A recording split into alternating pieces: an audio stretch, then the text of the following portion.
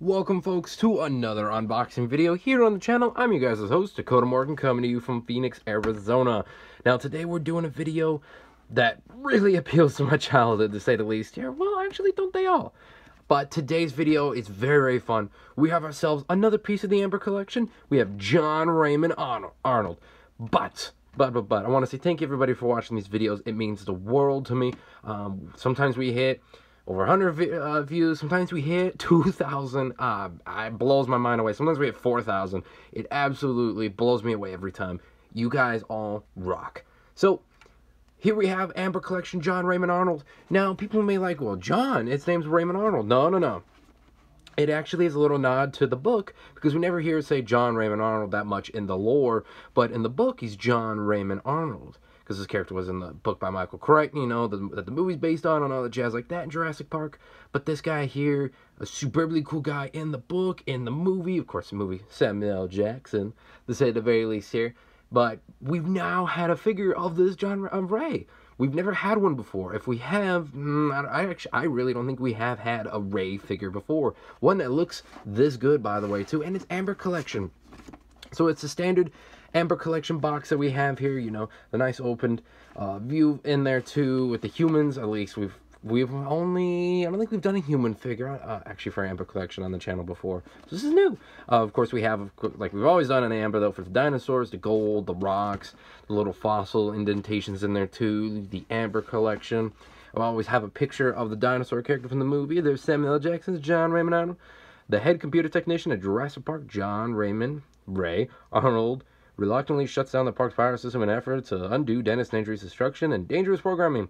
After initiating the reboot, Arnold's decision to leave the circuit breakers gets wildly out of hand. Yeah, um, out of hand. Oh, that's a good Easter. um, the one thing I'll always say about Amber Collection, you can leave it in the box. Of course, this is by Mattel. You see the little logo down there. And this is by Mattel. Mattel always does a good job where it's like, you can leave it in the box. And this is one you can definitely can.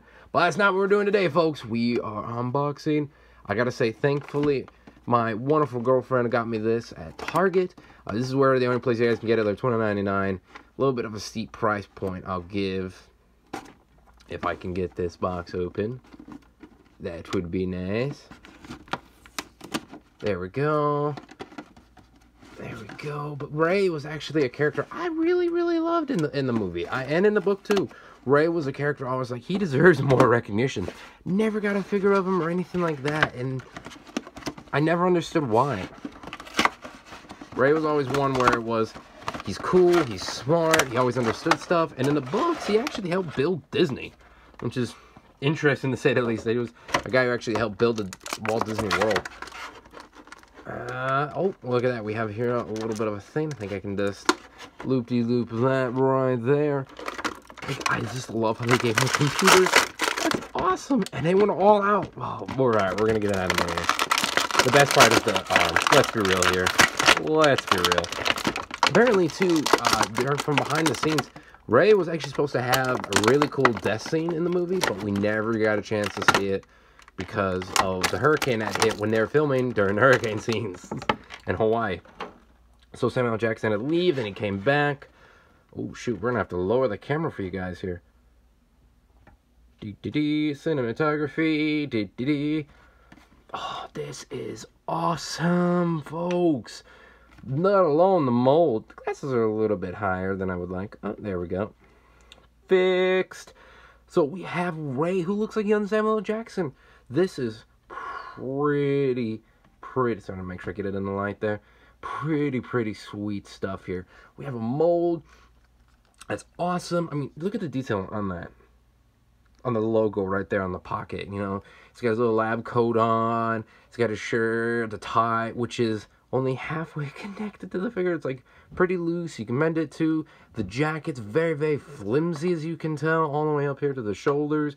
We have very, very cool articulation. But we'll start here on the paint job. The paint job, look at this paint here. Awesome. Awesome stuff here for the paint, the pants, the boots, or I guess you would say shoes, the shirt, the head paint sculpt, even that little gold on the glasses is awesome to say the least here. Skin collection, uh, the hair, all this jazz here. This is sweet. Very, very, very sweet of a figure. Of course, the mold straight out of the movie, and I can just take him out of the package, and he just stands up like that. Something really, really cool to see. You know, we have very, very cool articulation. You can move the head in different directions. Yeah, we have the arms with the elbows. The hands that do move themselves.